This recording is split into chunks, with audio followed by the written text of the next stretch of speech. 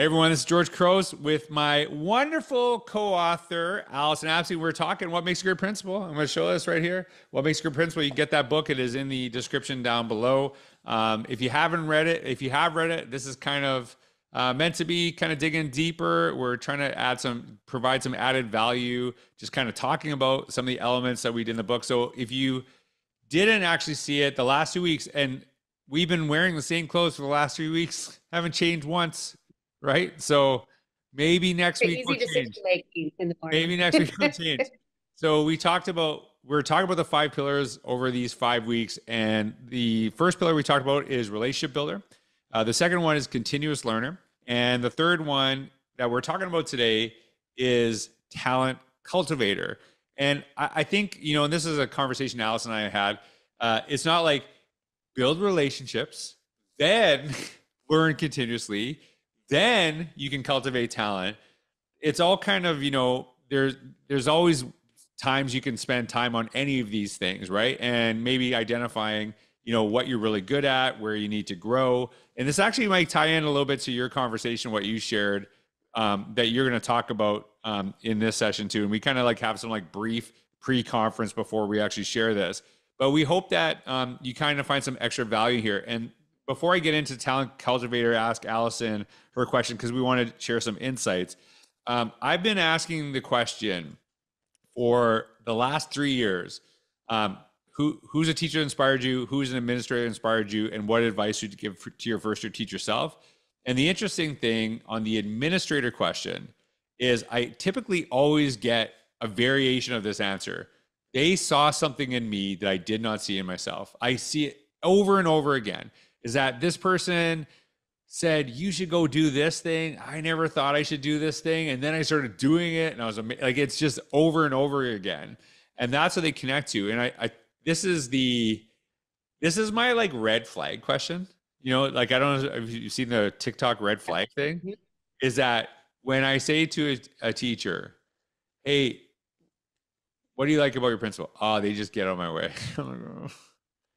It's like like they should make you better. They shouldn't just get out of your way, right? Yeah. So I think it's I think they should support you, but also challenge you to be better. And you know, when you just get out of your way, are you going to actually grow because of that person um, to do this? And I, I, you know, I know a lot of people who have left organizations because they weren't getting mentorship. They weren't actually growing because of their leaders, and they went to a place that they knew would make them better. Right? Getting out of a person's way like I, I understand the sentiment, but if that's the only characteristic, I'm a little bit nervous about it too. So before I do the definition, any initial thoughts on this idea of talent cultivator? Well, I love it. I think Abby Ramos. Abby, Abby Ramos Danutz, who's amazing. Um, thank you for teaching me how to say her last name. Yes. And she is amazing. And I think in this section, right, she talks about like shine your light and then get out of my way like mm-hmm. that key element first i think is so important in her story about shining like a leader a principal shining the light on strengths and then stepping aside and letting the, the teachers shine on their own yeah you know like there's and partly I, like i would say when i was a principal i was never um, like a micromanager uh, partly because i feel that takes a lot of work and i'm a little bit lazy in some aspects of my life so like I like if you if you want to micromanage people, that's a lot of work, right? You want to put people in a position where they, you know, if you hire them to do an amazing job, let them do that job, right? But also put them in a position where they get better because of your leadership. So, talent cultivator pillar number 3, this is the definition that we shared. Effective principals understand that the collective wisdom of their staff is the school's greatest asset. They recognize the strength in every staff member and support each team member and see their own strengths and identifying their next steps. Great principals not only shine a light on the talent among the staff, they create a culture where teachers recognize and celebrate each other's talents. Great principals know that when teachers feel supported, strong, and powerful, they feel equipped to work through any challenge. Now, I'm going to give you, if you haven't bought the book, I'm going to do a little teaser right now. I share an amazing strategy if you're new to a school on on the importance of strengths. But I'm not going to tell you. You're going to have to get the book. So that's a little. That's a good idea. Is that a good idea? So we're we're sharing, we're sharing we're like everything we're sharing are kind of like additions to, but nothing we're sharing is as good as what we wrote in the book. is that fair? Maybe it's fair. It's no. We want to build. We want to. We want to provide some extra value, right? And whether you bought the book or not, we always appreciate people buying the book. You know, people are in different situations where you know they can't get a book, and that's okay. But this is totally free, and we want to discuss this, and hopefully, um, a principal group or people that are aspiring to be principals will watch these three or listen to these three together and have some discussions, uh, whether you buy the book or not. And so we want to do that because we we really do believe how important that position is. We want people set for success. So one of the things on Talent Cultivator, Allyson, I know you kind of mentioned you wanted to kind of expand on the teacher evaluation process and what you talked about there and why it's so important. So tell us more kind of how that aligns with Talent Cultivator. Because when people hear like teacher evaluation, it's like it's like not talent cultivator, it's life sucker. So that's how they kind of see that too. So how do you see that as as part of cultivating talent? Well, I mean, I th- first of all, just some realities about teacher evaluation systems. Like research does not support their effectiveness. Like teacher evaluation systems are not linked to improve student outcomes at all, and actually are linked to um, like teacher dissatisfaction in their work. And as I, as a principal myself, as I visit so many different schools, one of the main ways principals get into teachers' classrooms is through observations that are done because of the evaluation system. Mm. So this is how we get into classrooms for extended periods of time, other than like just popping in and visiting. For the most part, across the country, every state has a requirement for teacher evaluation. It does not improve teacher effectiveness, research shows. So, what can, how can we use this power for good instead of evil? I ask a question to teachers. I say, what makes a te- what might make a teacher feel unsafe at school? And like nine times out of 10, teacher evaluation is one of the most frequent answers. Mm-hmm. I even asked, I've asked principals, what might make a teacher feel unsafe at school? And they said teacher evaluation. Hmm. And that's like, I try not to get up on a soapbox, but I did in that moment. And I'm like, you guys, like the state says here's the components of teacher evaluation. The state does not say how teacher evaluation needs to feel. And it is an opportunity because we're getting into classrooms. We're going to be able to see teacher strengths, their next steps. It's an opportunity to utilize it as a platform to empower teachers to recognize not only for us to recognize their strengths, but the biggest compliment I think is that, you know, for a teacher to say, Allyson saw this strength in me mm-hmm. and helped me believe it, believe in myself.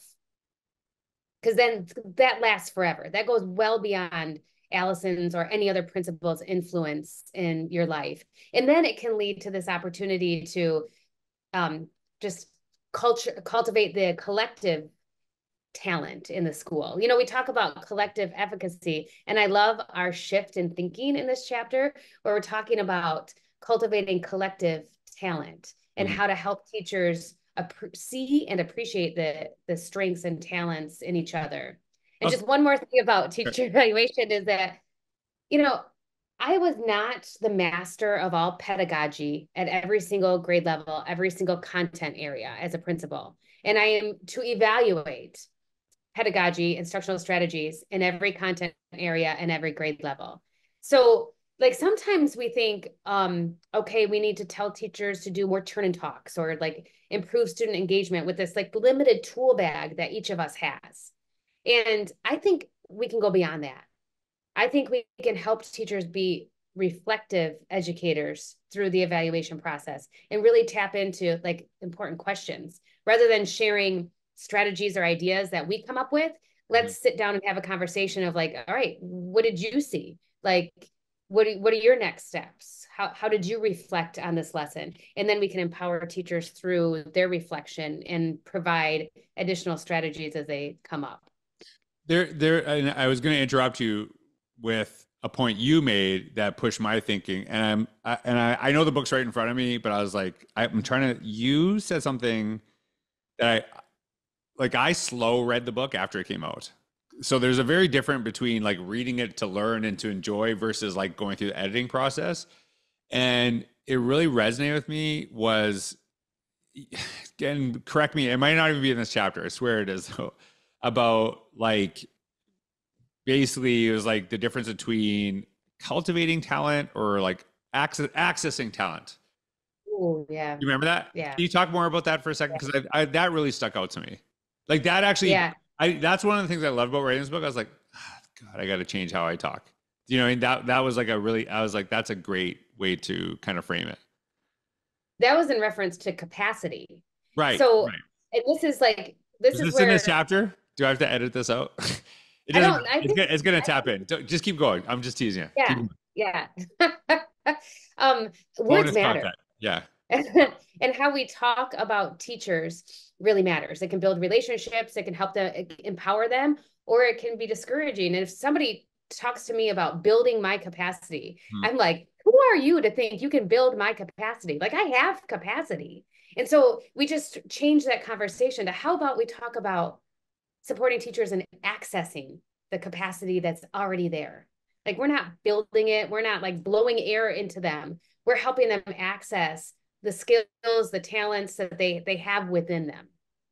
So this this is um I, am actually in at California MTSS uh, keynoting that conference. It's coming up. It will be after this this uh, keynote. So if you're in the uh, California area, I'll be there. I'm looking forward to it.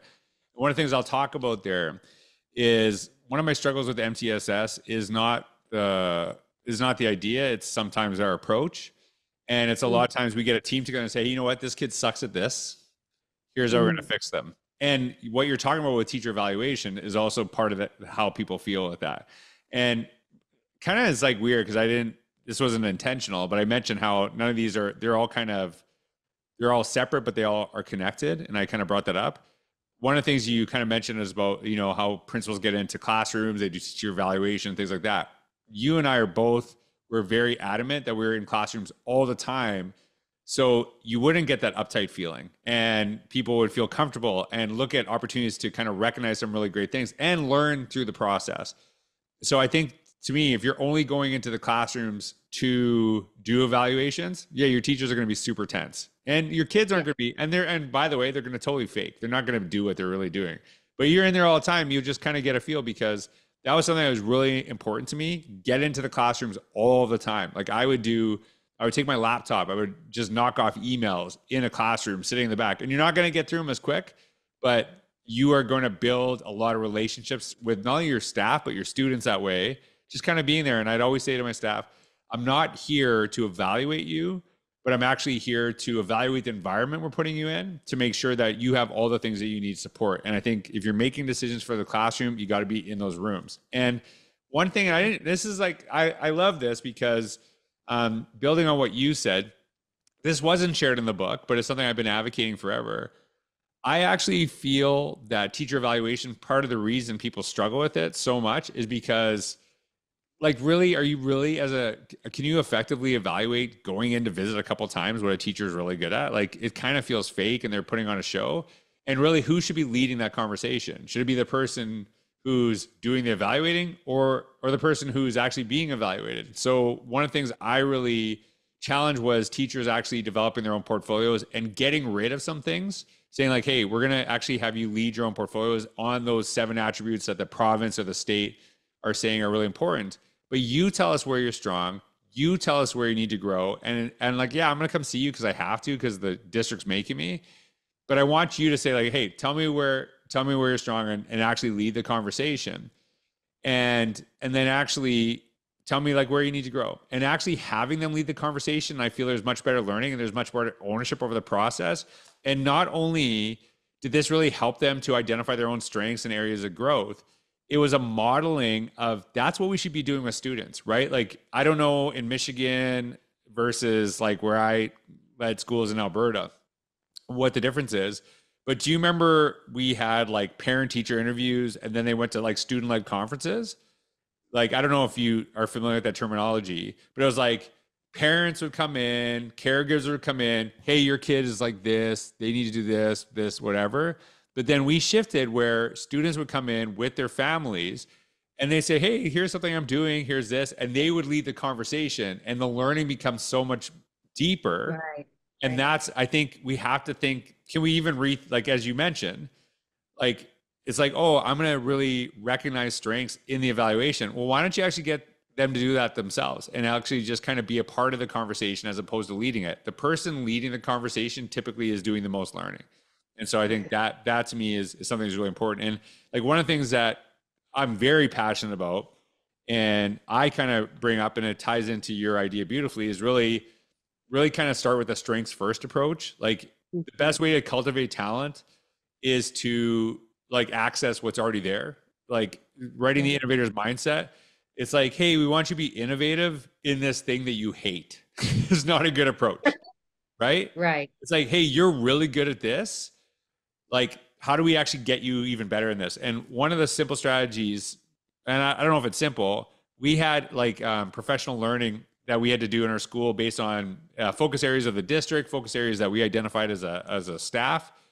And instead of bringing outside presenters, I asked my own staff to identify which one of these areas do you think you're really good at or you're passionate about. And what we want you to do is actually lead the professional learning for um, our community.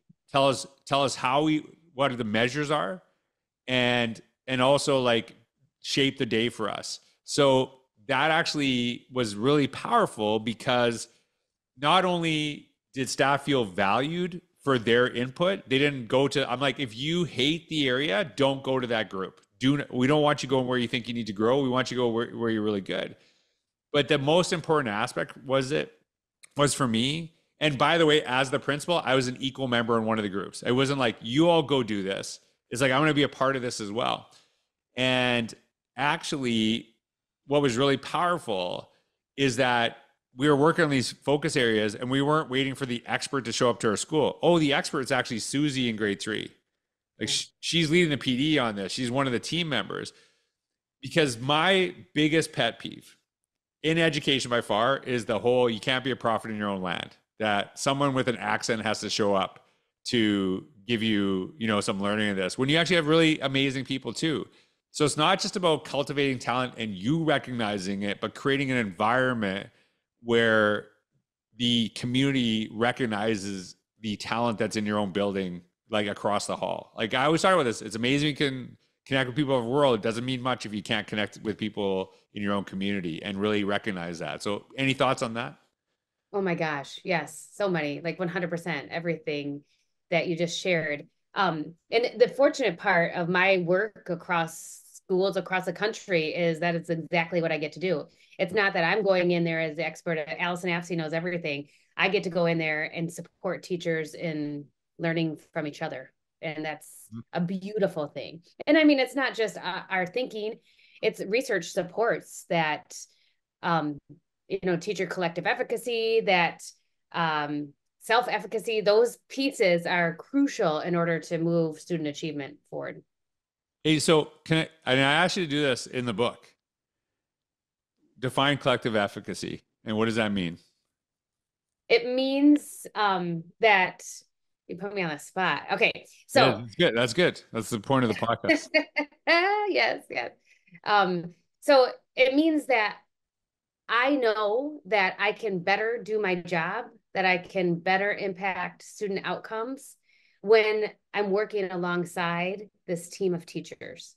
I'm a better teacher because of this team of teachers. And they're going to have strengths in areas that I'm not as strong. And if I can tap into those, my students are going to benefit and vice versa. I love that. And I think that's a really important aspect. And we talk about this throughout the book, sort of the contributors is that like you're not trying to get everyone in your organization to be like you. You're actually saying like how do mm-hmm. we actually create spaces? And this was taught to me by kelly wilkins really where we bring in people with different talents and actually collectively we actually create a much better environment because of our individual strengths. Uh, like i i've talked about this forever. I i really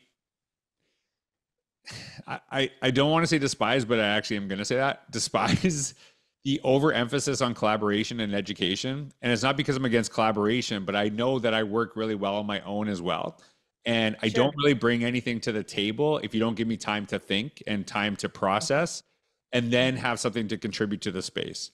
So that to me is like, do we also create a space where we have that opportunity to work on our own, think, you know, have some time to reflect that we then bring conversations, um, you know, we bring contributions to those tables. Cause like typically if you go into a lot, like the little turn and talks that we have in groups of 10, it's always the same two people talking. And why is that? And often it's because people, a lot of people at that table, they just need time to process. And it's not that they're, yeah. they're not smart, they, they don't have anything to value. They just, they just need time. They just need right. time to think. So like it's not that I'm against collaboration, but collaboration without actually isolation and you know independent thinking doesn't really work that well. So I, think you and I are both like talent cultivating. The biggest thing for us, I think, in both of our chapters, and you know, kind of the approach is really focus on strengths and actually identify that. So I'm gonna I've been giving questions at the end of this um, for each one to just kind of consider and actually share. And you can share this the hashtag What Makes a Great Principal um, in any different space. We'd love to hear for you. What is like maybe one strategy or method? And you can talk like there might be some teachers listen. I know there's some teachers listen too that you do this for either your staff or your students. How do you take an approach where you actually bring out the strengths in the people you serve? Because I think that's where you know if we can bring out the strengths in everyone, we are way stronger as a community as opposed to continuously focus on what we're not doing well and trying to play educational whack-a-mole, which is a game we've right. played in education forever. So, um, Allyson, I'll see you next week. Who knows? Yeah. Who knows if we'll be wearing the same outfits? Might do my hair different. Right. So I've been I've been loving doing this with you. I love kind of diving in. I am I will say this. I am so incredibly proud of this book, and not only because I actually thought I did a really good job. I'm not gonna lie. I'm very proud of what I wrote. You did. I, w- I thought you did and, a good job too. And I'm gonna say that out loud because we never share that we're proud of ourselves. But the reason why I share that about myself is I like loved writing this book. Every time I was writing for it, I was so excited. And then right reading your stuff, it really challenged my thinking. But I think both of you, I agree with this. The contributors of this book, um, the teachers who talked about great principals they had, it was a, like both of us were like, ah, oh, amazing. I wish we would have had this book when we were principals, right? Yes. I think that was the best part of it. So um, we'd love to hear your thoughts on how you build strengths. If you haven't got a copy of what makes great, great what makes a great principal, um, pick it up. The description, the link is in the description down below. Allyson, I'll see you next week. Yeah, maybe actually see you next week. So thanks for listening, everybody. Hope you have a wonderful day.